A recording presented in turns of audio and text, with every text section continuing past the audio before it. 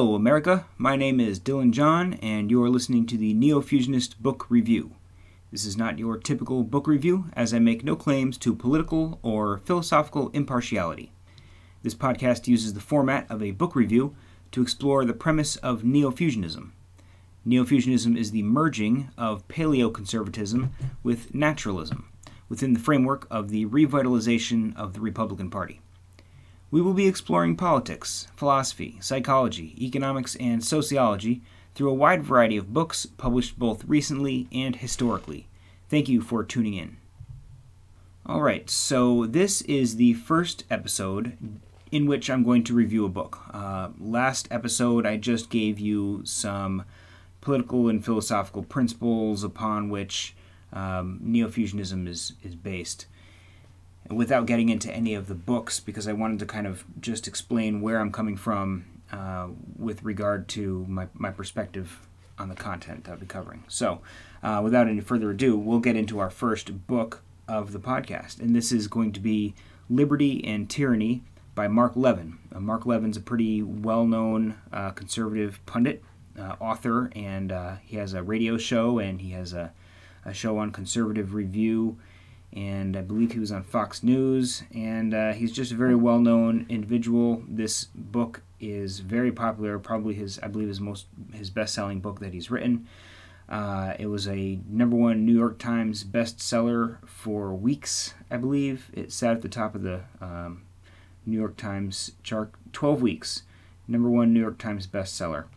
Uh, so, and the subtitle for the book is A Conservative Manifesto. And uh, so it was published in 2009, very early in the Obama administration. And the reason that I chose this book uh, to be my first review is because it can kind of be considered, I believe, a, well, as it says, a conservative manifesto. And so it lays out the philosophies of the modern conservative movement uh, in a pretty concise, clear way and provides me with an opportunity to take uh, my perceptions of neo-fusionism and and what that is and and its relation to paleoconservatism and its relation to naturalism and uh, and kind of contrast that with I guess boilerplate conservatism. Um, I wouldn't necessarily call this book neoconservative or paleoconservative. Uh, just kind of standard conservative. If you if you're not uh, intellectually inclined uh, student of conservatism and you just consider yourself a conservative, um, this is probably pretty closely aligned with what you believe. So I'm going to, I agree with a good portion of the contents of this book. I should specify that up front. Uh, I agree with a lot of what he says, but I don't agree with everything that he says, and I'm more inclined to want to discuss the areas with which uh, I disagree so that I can make a, sort of a contrast. I'm not going to go into detail uh, discussing every single portion of this book that I agree with. Um, I, I recommend it. You can get it, and you can you can get a real basic understanding of of what conservatives believe and why. Uh, but I do want to make a few points about it. So the premise of his book is a contrast between the conservative and the statist. And while I can understand why he pairs those two as opposing um, groups of people, the, the conservatives on the one hand and the statists on the other, uh, there's it's not a really pure contrast. Um, I would say that the statist is more clearly and distinctly contrasted with the uh, anarchist and the uh, conservative is probably more clearly contrasted with the well with the progressive. Although in some sense you could contrast the conservative with the radical but i would say maybe that would be a contrast between the prudent and the radical. But conservative and, and progressive that se- seems to me to be a clear opposition. One one looking to more looking to the past um, and conserving things which are that which exists has is, has value, and the conservative wishes to maintain that which exists. whereas the progressive is continually seeking to change into something new. Now that's a, that's a kind of a simplistic perspective. The the, cons- the political conservative today is not necessarily interested always in preserving just what is. I mean, if you think about the reactionary strain in conservatism, it's like, say, we live in a post New Deal era, and we have for decades. And so, do we want, does the conservative want to necessarily maintain the big government that we've had over the past, you know, uh, 75 years or more? The, the, the social order that exists today that does the conservative necessarily want to just maintain that which exists currently? No not really. The conservative tends to want to turn back the clock a little bit on a number of um, big government initiatives and so that the, the conservative movement isn't so simplistic as to just say well you know let, us just keep what is and not not rock the boat let's not make any changes. That's not the mo- that's not really the modern conservative so much. It's like you know, picking a particular point in the past, maybe before the rise of the statist. Um, and so, in that regard, the statist and the conservative become opposed to each other. Uh, but it's contextual. You know, it's it's because we are living in a post-statist world where the statist um, influence is is massive. So that's kind of why the conservative and statist become opposed to each other. Um, so uh, with that said, I just wanted that little caveat about the about the contrast that he draws between the between the uh, conservative and the statist. He talks a little bit about um, where the Republican is today, where the conservative is today, and what must be done. And so I'm going to read a little bit of this, and I'm going to kind of establish a, uh, pattern here. I'll start with this book, but I'm going to read fairly significant sections of the books that I'm reviewing to you um, because I want you to really get a feel for the tone and for the perspective of the author.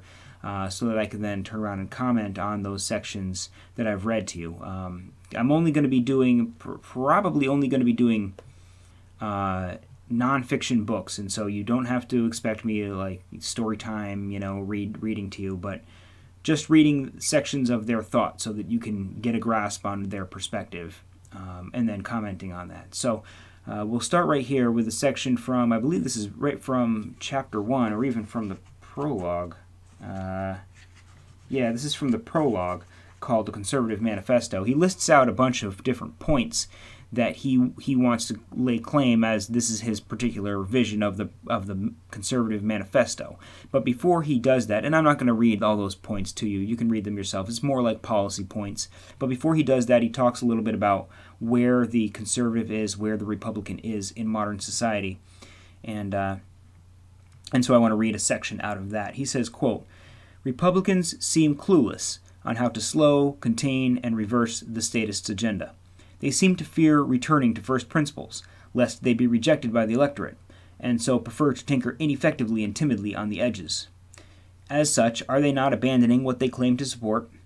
If the bulk of the people reject the civil society for the statist utopia, preferring subjugation to citizenship, then the end is near anyway.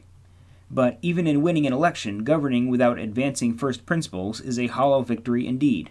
Its imprudence is self evident. This is not the way of the conservative, it is the way of the neo statist, subservient to a reality created by the statist, rather than the reality of unalienable rights granted by the Creator. So, what can be done? I do not pretend to have all the answers. Moreover, the act of writing a book places practical limits on what can be said at a given time. However, I do have some thoughts. The conservative must become more engaged in public matters. It is in his nature to live and let live, to attend to his family, to volunteer time with his church and synagogue, and to quietly assist a friend, a neighbor, or even a stranger. These are certainly admirable qualities that contribute to the overall health of the community, but it is no longer enough. The statists' counter revolution has turned the instrumentalities of public affairs and public governance against the civil society.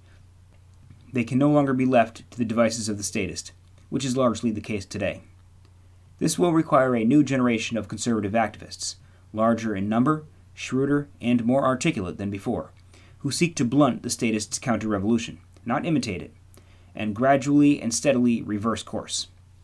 More conservatives than before will need to seek elective and appointed office, fill the ranks of the administrative state, hold teaching positions in public schools and universities, and find positions in Hollywood and the media where they can make a difference in infinite ways.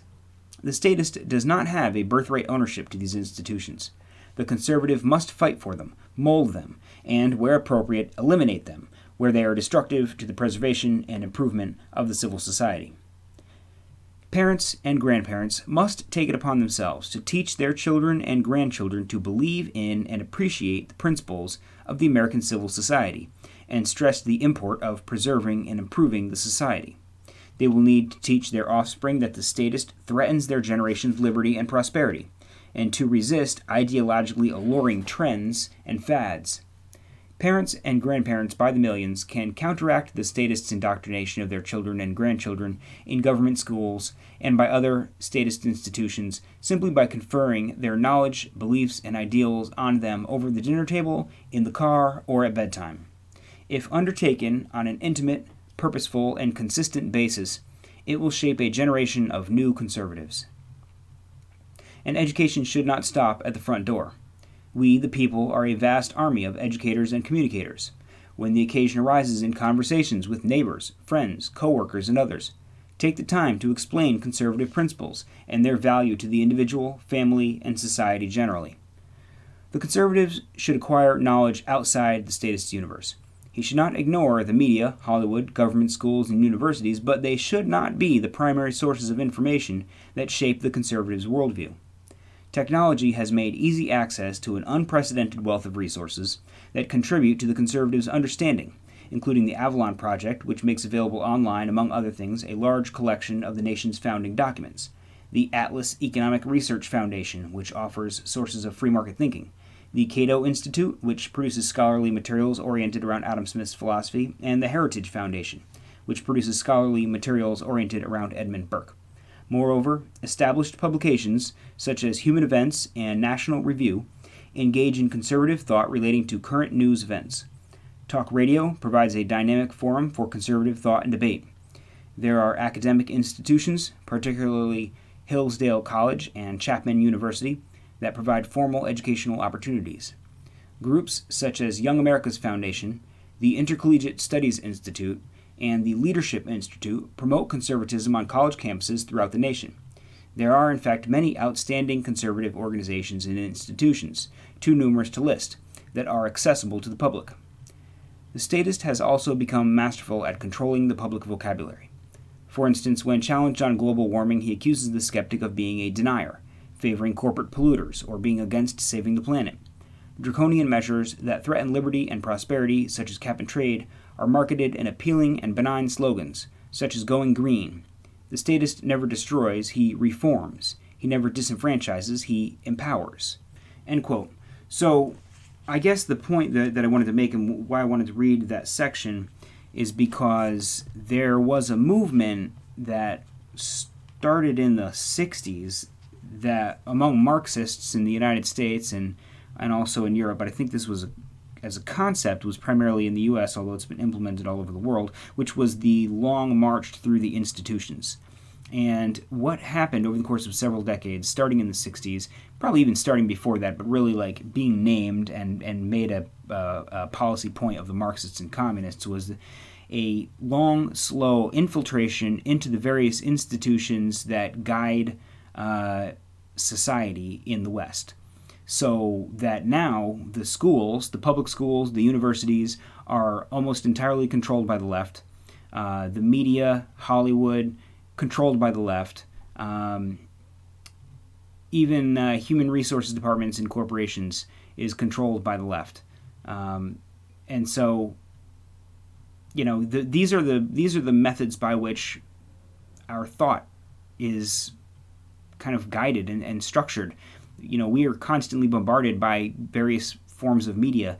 Th- those of us that you know have a fairly limited media diet when it comes to like Hollywood mainstream um, uh, uh, television programs and stuff, we still get it, and a lot of people like uh, absorb a lot of it, um, and, and it affects their perspectives. Uh, and conservatives have been asleep at the wheel you know, like he says, the, the left does not have a birthright ownership of these institutions. They diligently fought for them, they infiltrated them over the course of generations, and now they control them. And as they control these institutions, they control the minds of our children and of the next generation and of the average person. And we, as conservatives, need to begin to look at these institutions and begin to fight for them. To run for city council and board of education, to become teachers in the school system so that we can affect this perpetual, and I'm not saying that, well, we need to brainwash kids in the opposite direction, but we need to we need to put the brakes on the uh, left wing programming that is occurring in the school system. And, you know, in this quote, of course, he talks about the uh, statist becoming masterful at controlling the public vocabulary. And that's totally true. The examples that he uses all relate to um, environmentalism, climate change, climate denier, being against saving the planet, etc. Um, I don't agree with his position on the environment. We'll talk about that a little bit more later. And also, when he talks something in the in the early er, first section I quoted, uh, which is that um, the way of the conservative is not uh, subservient to a reality created by the statist, but to the reality of unalienable rights granted by the Creator. Um, I don't think that you know, a naturalist perspective uh, would endorse inalienable rights created by by a supernatural creator. Um, and you know, I don't want to use this opportunity to get into the, a discussion of what rights are, whether they're in, unalienable or you know where they come from or do they even exist or did is it something that we invented? That's a topic for another show but suffice to say there are little bits and pieces here where i'm like ah you know what i don't necessarily agree with that. But on the whole um, the the general conservative um, policy positions i largely agree with. And i and i um, i agree with uh, mark levin's comments about what needs to be done in in order to kind of take back control or at least an equitable influence in American society. Um, and so that's that. I'm going to move on now uh, to his section where he talks about faith, uh, and he he says, uh, "quote The question must be asked and answered: Is it possible for the conservative to be a secularist?" There are conservatives who self-identify as secularists, whether or not they believe in God and take or take a religion. And it is not for others to deny them their personal beliefs. However, it must be observed that the declaration is at opposite with the secularist. Therefore, the conservative would be no less challenged than any other to make coherent that which is irreconcilable. Moreover, for the conservative, as it was for Burke and the founders, Faith is not a threat to civil society, but rather vital to its survival. It encourages the individual to personally adhere to a dogma that promotes restraint, duty, and moral behavior, which not only benefit the individual but the multitudes in society generally as George Washington wrote in his farewell address, quote, of all the dispositions and habits which lead to political prosperity, religion and morality are indispensable results, and let us with caution indulge the supposition that morality can be maintained without religion, end quote. Attempts to stigmatize as religious zealots or marginalize as social extremists those individuals who resist the statists' secular impositions, for they are the coercion behind America's moral and cultural decline is to condemn conservatism, the founders, and the civil society. How can it be said, as it often is, that moral order is second to liberty when one cannot survive without the other? A people cannot remain free and civilized without moral purposes, constraints, and duties. What would be left but relativism, manifesting itself in anarchy, followed by tyranny and brute force? For the conservative, social issues relating to life and lifestyle, tested by human experience through the centuries, are not merely personal habits and beliefs, but also mer- merit encouragement throughout the society. End quote. So, uh, he now I am making the case um, that our government needs to be completely secular, uh, and that's not to say, you know, our society needs to be completely secular. Um, that's a totally different argument.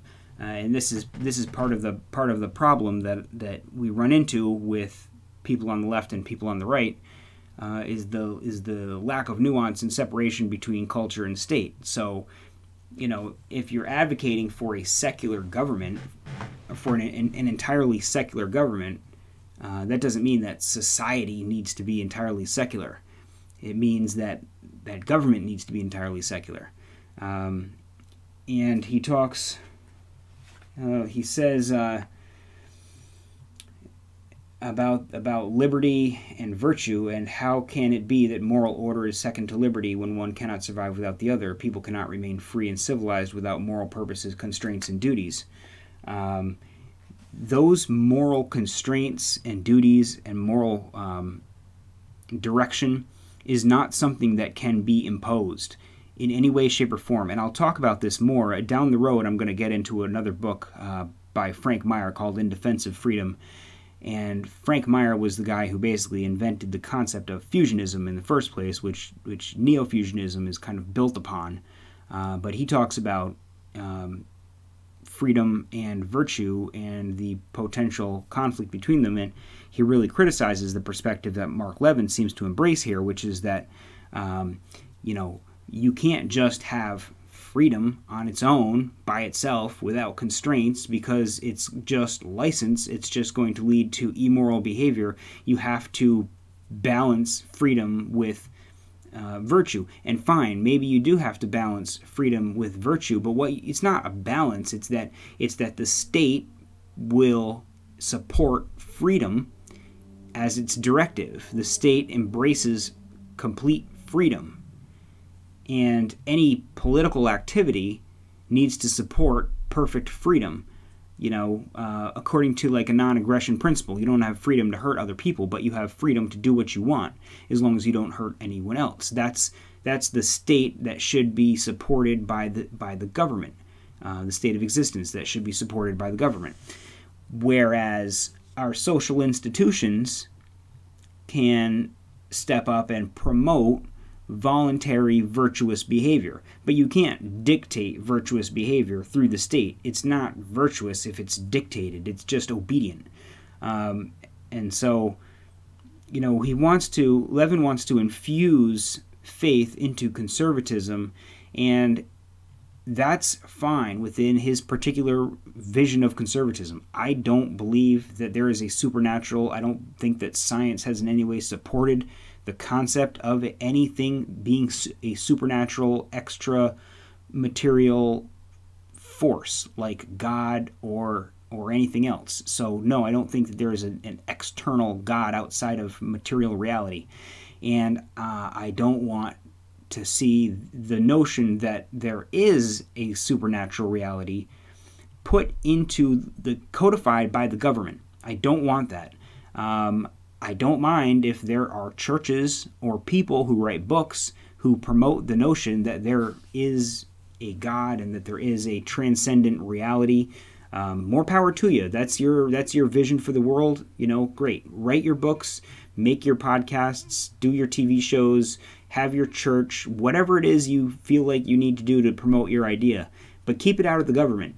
And so, uh, my my vision for a conservative is, is fairly well aligned with Frank Meyer's vision that that you need to preserve freedom, uh, complete and absolute freedom, first and foremost within your interactions with policy and uh, any any kind of striving toward virtue is something that occurs outside the bounds of the government. And you know when you start getting into questions of like gay marriage or or what have you, abortion and or whatever, there's a there's a drive to use um, among many conservatives. There's a drive to use the government to enforce what is perceived to be moral behavior. That's not the vision of conservatism that I hold, and so that's not kind of the foundation that I'm trying to lay out in, in, in laying out the, the premise of neo-fusionism.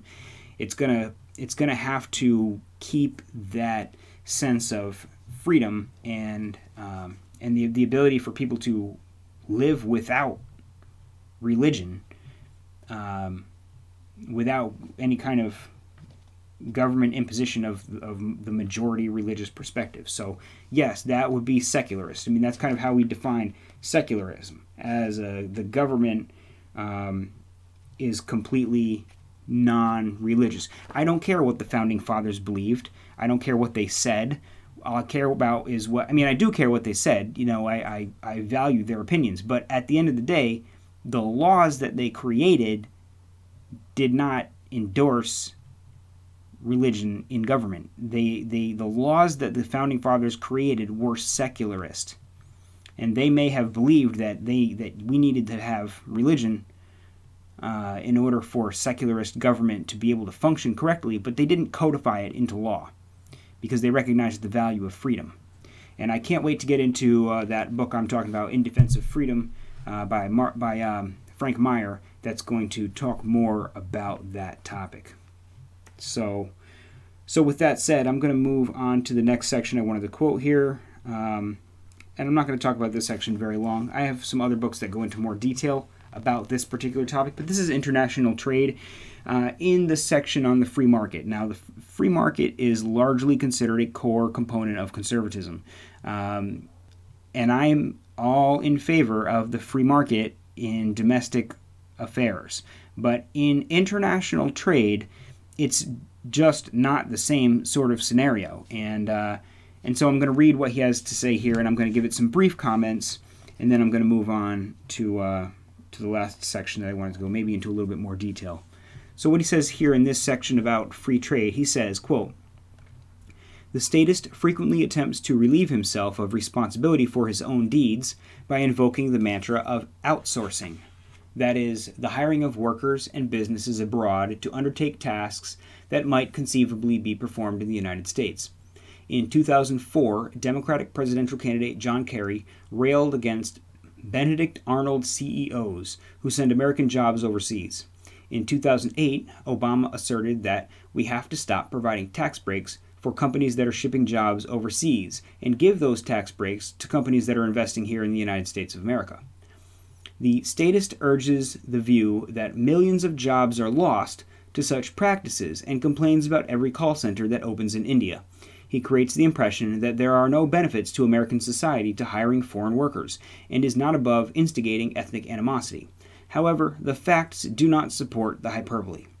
Jacob Funk Kirkegaard, a research associate at the Peterson Institute for International Economics, studied the official statistics for mass layoffs, 50 or more people, in the United States.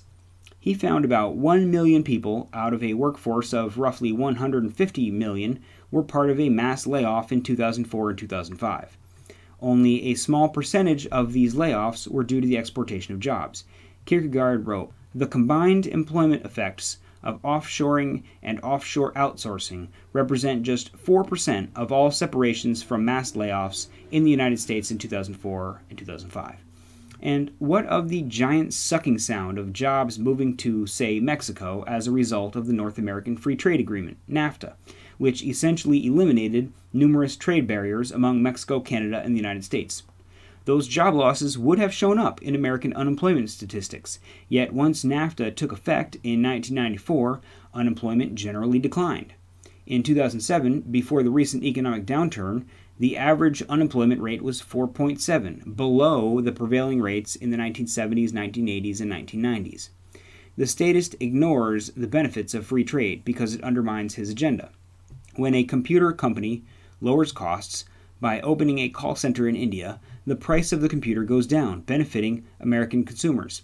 Money is then freed up in the United States to spend more productively.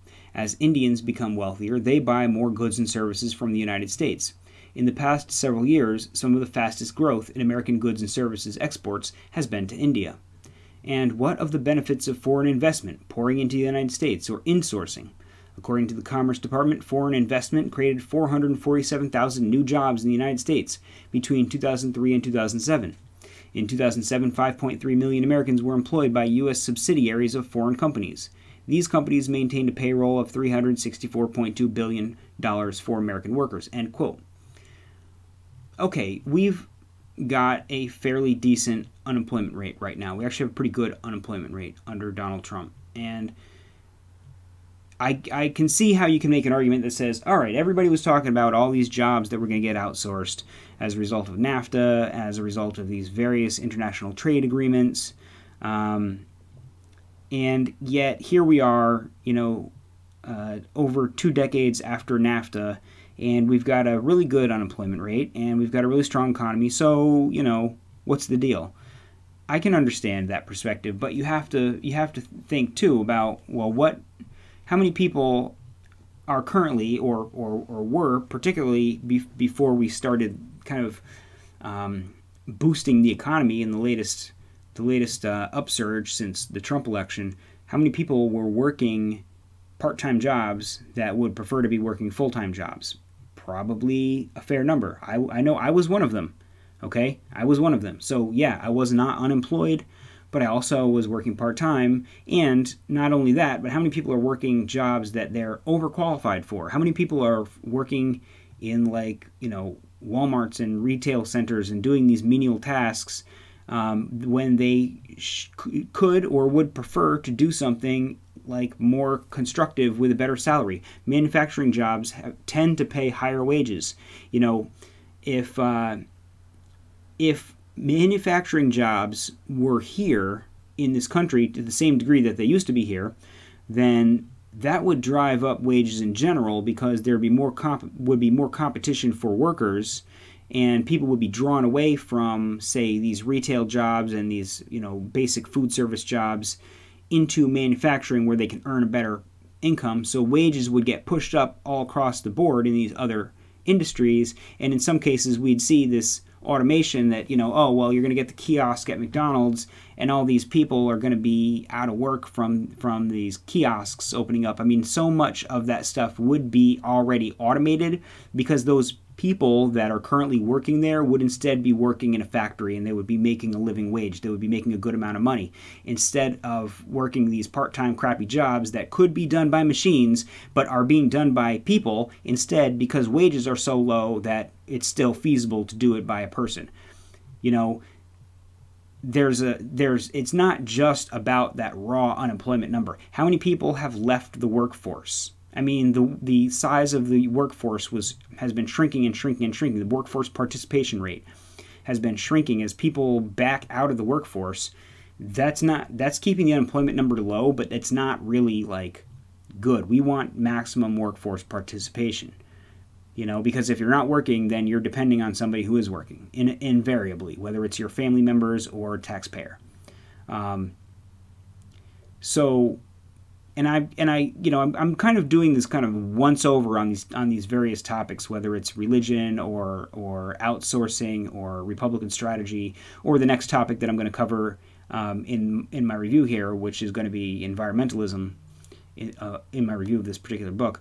This is kind of like a, like a brief run through there are other books that I'm going to be covering in more detail that address each of these individual topics specifically.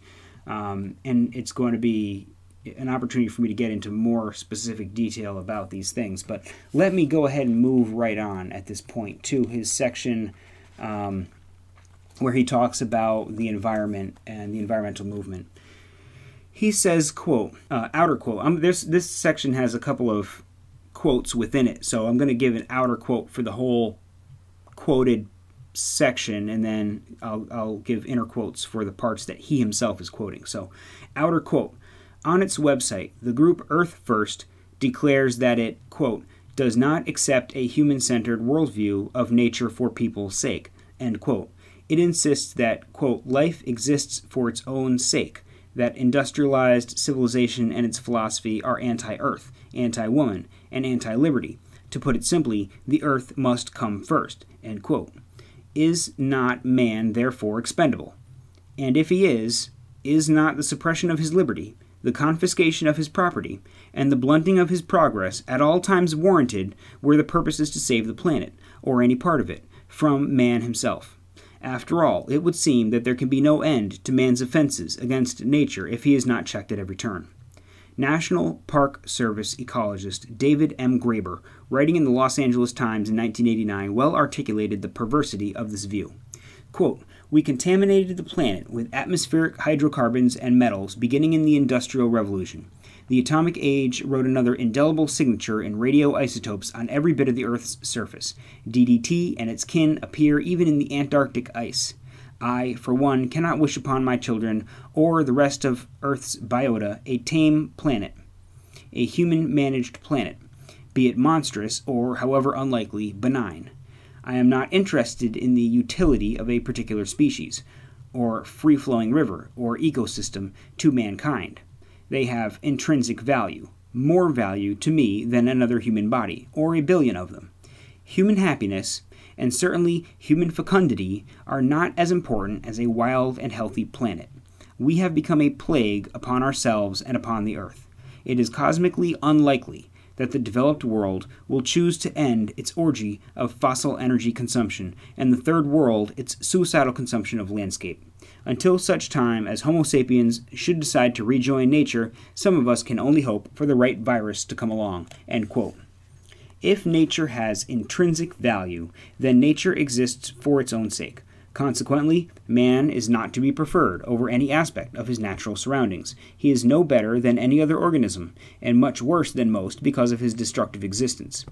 And so it is that the enviro-statist abandons reason for a faith that preaches human regression and self loathing.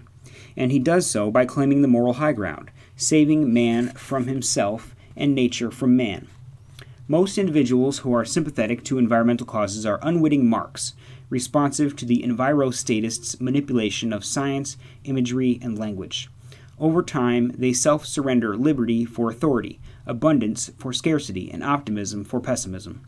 Save the planet is the rallying cry that justifies nearly any intrusion by government into the life of the individual. The individual, after all, is expendable. Who would have thought that the flush toilet would become controversial? It is not only an everyday convenience, which would be enough, but critical to human health. No matter.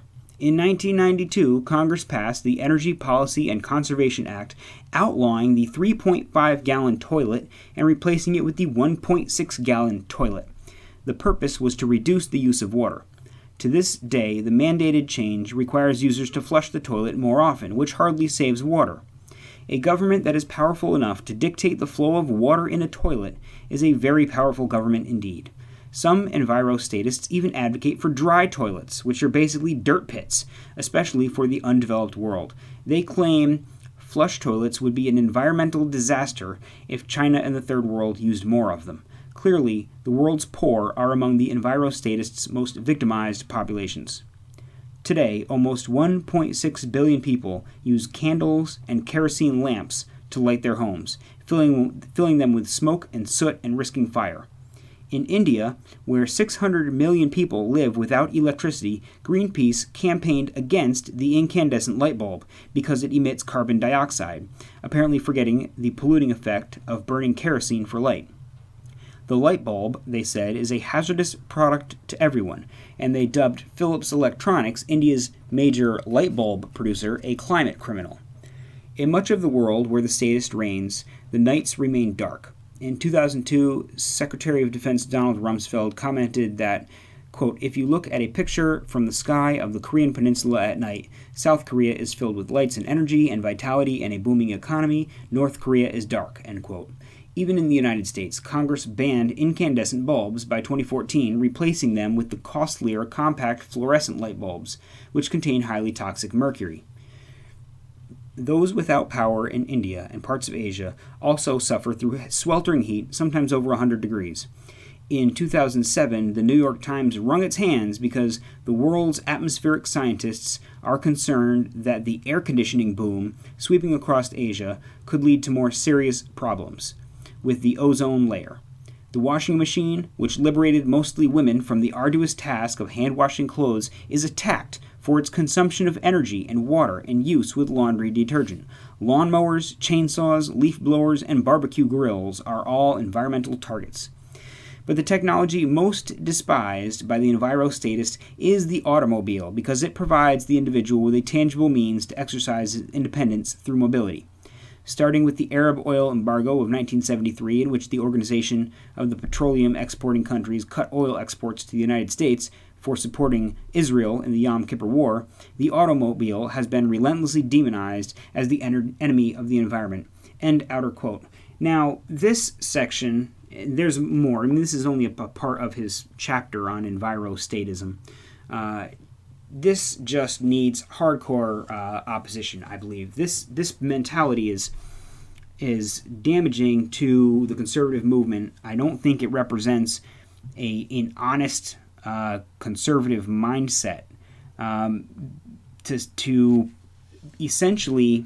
I mean, we can go through this bit by bit, but in the very beginning, um, he quotes Earth first.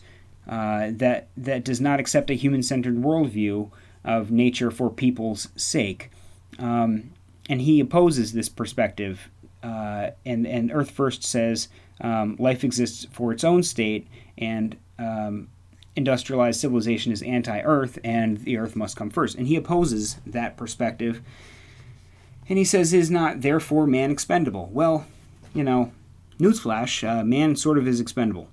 Um, this is, of course, the result of a religious worldview that places man at the top of creation. And you know, it does not. He he does not view man as steward, the steward of creation, that he's supposed to um, uh, uh, protect and and guide and and act as a beneficent manager or ruler of the natural world, which is, to my understanding, kind of the biblical explanation.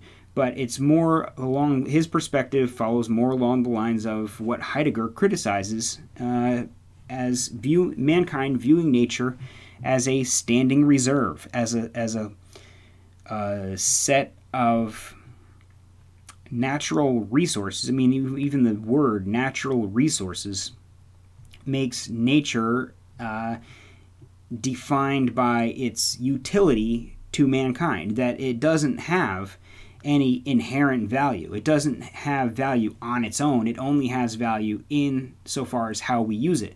Um, and and essentially he, he makes this case that uh, you know if the he says the the blunting of his progress, meaning man's progress, the blunting of his progress at all times is warranted, or or you know this is his his paraphrasing of the environmental position is warranted where the purpose is to save the planet or any part of it from man himself. Well, I mean, if you want to get down to it, like if if you're really talking about saving the planet, uh, yeah, maybe sometimes some sort of constraints upon humanity would be appropriate. Uh, we love our freedom. We, we, you know, I mean, I, I talk about freedom. I'll be talking more about freedom.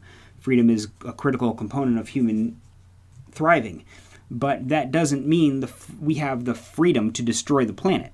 You know, I mean, no, you, there, there has to be a point where you say no. Uh, that's an externality. That that the damage that you do to the environment and to the planet is is an external um, result, byproduct, if you will, of economic activity that needs to be constrained because nobody's paying for it. Nobody's. That's what an externality is. It's a cost imposed on entities that are not part of the economic transaction, and that's what pollution is. It's an environmental externality where the costs are imposed on the natural environment. And uh, simple free markets do not address externalities adequately. It requires uh, collective stewardship to address an, an, externality like that. And you know, it's not just, he, he takes kind of a utilitarian approach where, um, oh, let's see what he, he says. Uh, I mean, I, I find it hard to believe that he that he opposes nature having intrinsic value. I mean, he says if nature has intrinsic value, then nature exists for its own sake. Consequently, man is not to be preferred over any aspect of his natural surroundings. Now, that's a kind of a a, a rough interpretation there. Like, uh, you know, man as men prefer mankind. Humans prefer humanity over other creatures, and that's a natural that's a natural outcome of of our of our intrinsic value system. You know, I as an individual prefer myself. Um, it's a kind of a self-centered um, value system, which is the value system that that has been crucial for our evolutionary development. Every creature, every creature on the earth prefers its own existence to the existence of others. doesn't sacrifice itself for others until religion came along, you know. Um, so yeah, you, mankind can prefer themselves over their natural surrounding, but that does not automatically invalidate the inherent value of nature. Nature has intrinsic value and exists for its own sake. Yes, that does not mean that we have to sacrifice ourselves to nature. It just means that we have to live in, a, in accord with nature and not use it simply um, without regard for sustainability or, or without regard for the condition of our environment. Uh, and then, you know, when he talks about the toilets, you know, like his perspective is essentially like, how can you possibly go to something so simple as a toilet and impose government controls over how we use our toilets. You're all up in our business. Big government is all up in our business telling us how to use our toilets. Uh, you know, there's not an unlimited supply of water. As much as you're, you're kind of like dismissing the, the toilet as a simple thing, it, it uses water uh, of which there is not an unlimited supply of fresh water in this world. There's a finite amount of fresh water and there's a finite amount of water we have access to and there's effort required to bring water to human civilization. Um, and so you know again that's an externality where you can flush the toilet 10 times and you know every morning and everyone could do that and like we could just we could just drain the water and where's the where's the penalty? So what the water prices are going to go up and then you're going to make it so that you know well, wealthy people can flush the toilet as much as they want and poor people are going to have to you know not have have as little water as humanly possible. Um, i personally i don't see a problem this is this is one area this is like the area really the primary area where i don't have a problem with government uh, regulations if there's a limited amount of water in the world, then for us to have a thriving society, we need to make sure that that water is not used frivolously. And having some sort of government imposition on our water use, I'm, I'm, I'm okay with it. I'm okay with it. And, you know, and just to make his argument even more stupid, he talks about a 3.5 gallon toilet was outlawed and replaced with a 1.6 gallon toilet. And he says now uh, the toilet's so small we have to flush more often. Um, so I mean, I guess if you drop a big log and you and you have to flush twice to get it down the toilet because the the, the 1.6 gallon toilet isn't enough, and you need the old 3.5 gallon toilet to get that down the drain. Well, even if you flush twice, you've still used less than a single flush of a 3.5 gallon toilet. So, you know, presumably most of the time that you use the toilet don't does not require you to flush twice. But even if you did flush twice every single time that you use the toilet because that 1.6 gallon toilet was not capable of clearing itself, you're still using less. 1.6 times 2 is 3.2. You're getting rid of a 3.5. So even if you flush twice every time, you're using less water than you used to use when you flushed once every time with the 3.5. So his math is kind of, you know, I mean, not really solid. Um, but then, and lastly, when he talks about the automobile, he says the technology most despised by the envirostatist is the automobile because it provides the individual with a tangible means to exercise his independence through mobility. This is where this is where the core of the problem lies the automobile is not an opponent of the environmentalist because it provides people with individual mobility. It is a direct environmental impact of the use of the automobile that is the concern of the environmentalist. It is not an attempt to limit people's individual mobility. And this is kind of kind of flows through his perspective here is that, well, the, the statist ultimately wants, you know, he creates this nefarious figure of the statist that ultimately wants to destroy human individuality in its entirety and destroy all of our capacity for making independent decisions to make us completely subservient to the power of the state. And because he has created this nefarious figure, anything that advances the power of a regulatory state must therefore be a nefarious plot at the hands of the statist. Now, I'm not going to say that there are not people who want to see government controlling more of our lives because a they think that government is going to be more capable than than individuals. I don't think it's nefarious. I think it's misguided. They think that government is going to just um, always know the right thing to do, and so therefore, the more of our lives we hand over to government control, the better off we'll be because government is like a like a parent figure that's going to going to guide its wayward children.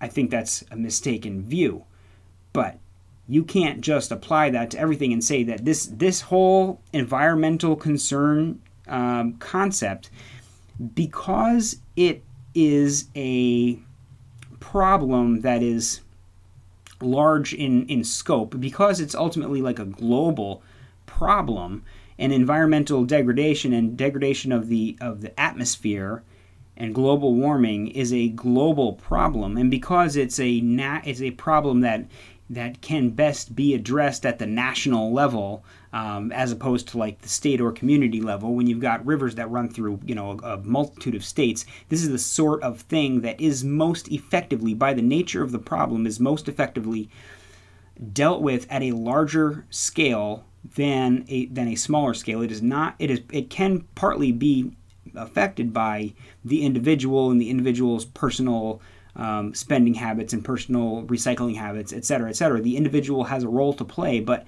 there is also a role to play with this particular issue because of the nature of the issue, because of the nature of the of the of the causes of the problem and the nature of the results of the problem that tends to be dealt with more effectively at a larger scale.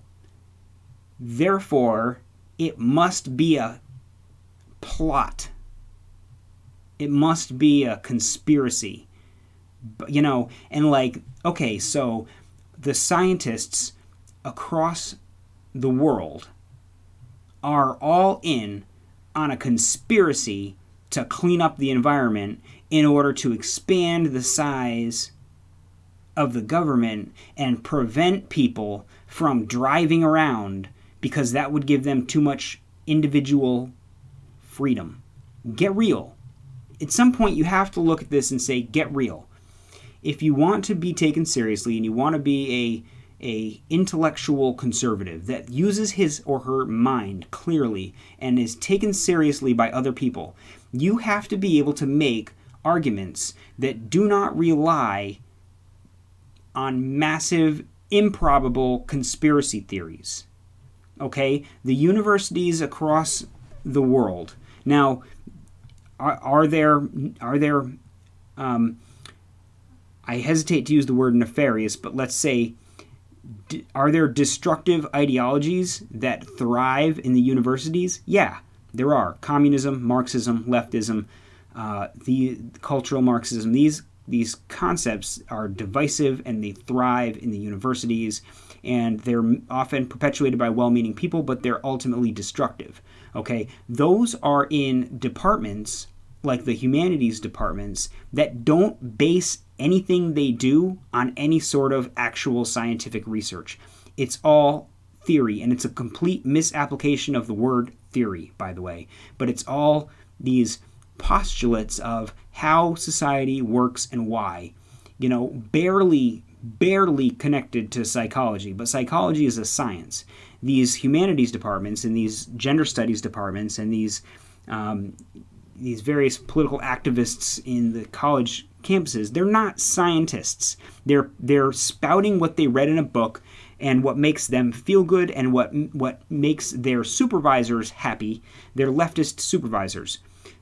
Now, so does that kind of fit the the scheme of a conspiracy? Well, I guess kind of. It's really just a bad idea that has propagated deliberately but to turn to this to this natural sciences, which are not based on whimsy, but are based on research, and assume that that the climate scientists of the world, the the you know the this the greater scientific community is pulling this fast one on all of us, trying to convince everybody that there's some sort of environmental impact of the crap that we continually spew into the environment when in reality there's there's no negative impact at all to all of this pollution and smog and carbon dioxide or, or, or what have you that we pump and all the plastics that we keep pumping into the ocean and the just you know just massive amounts of of pollution and environmental degradation. There's no negative impact to that at all. It's all a big lie. But if there was a negative impact to it, it wouldn't really matter because nature does not have its own inherent right to exist outside of the use that we get out of it. So, like, you're putting forward two, number one, you're putting forward the idea that it's all a big lie. And number two, you're putting forward the idea that, well, it doesn't really matter if it's a lie or not because the whole notion of nature having inherent value is bogus. So I strongly oppose this particular aspect of his book and of the conservative mindset in general. I don't think it is a conser- when you think about what it means to be conservative, conserving the natural world, maintaining our relationship with the world as it is if you're religious then then how we interact with the world as God created it. If you're not religious you know then then how we interact with the the world that billions of years of evolutionary and geological processes have created that we're going to turn around in a few generations and tr- completely trash it is that conservative? Is that prudent? Is that sustainable is that respectful of tradition, the traditions that go back not just, you know, the traditions that we've had for the past couple generations of consumerist traditions, but the long term traditions that we've had over the course of thousands of years in which we had a symbiotic relationship with the world at large.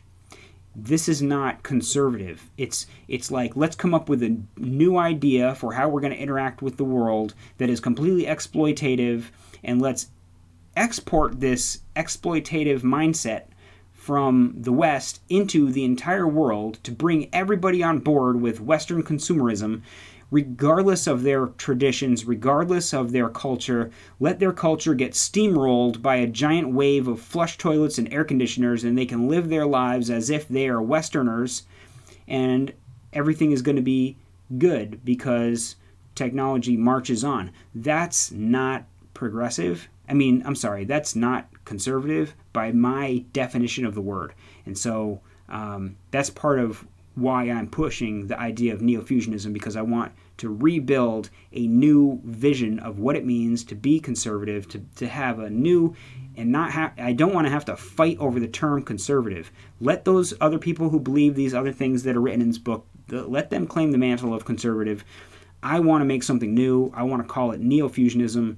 I've talked a little bit in my last episode about what neo-fusionism is and why. But yeah, the paleo conservative perspective and the naturalist perspective are nat- are a natural fit for one another to create a perspective on why we value conservative uh, perspectives from an evolutionary outlook.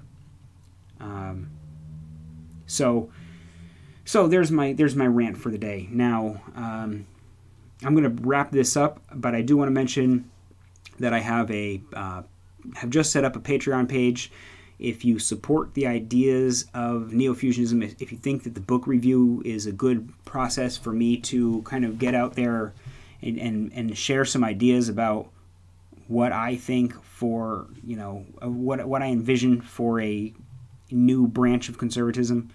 If, if you think this is valuable, worthwhile, and um, valid, I encourage you to go to the Patreon page and donate as much or as little as you're capable to help me get the materials that I need to help me um, promote the podcast as much as I can to as many people as I can. And I want to try to make a movement out of this. I'm just one guy, but I want to try to make a movement out of this, but I need your help. So if you like it, go to Patreon, uh, drop me a dime, and help me make this happen. I also have a Facebook page and I have a Twitter account, and you can find all these things by searching for Neofusionist um, book review, and it should bring you right to where you need to be. Um, or, or just the Neofusionist, I believe, is the Twitter account.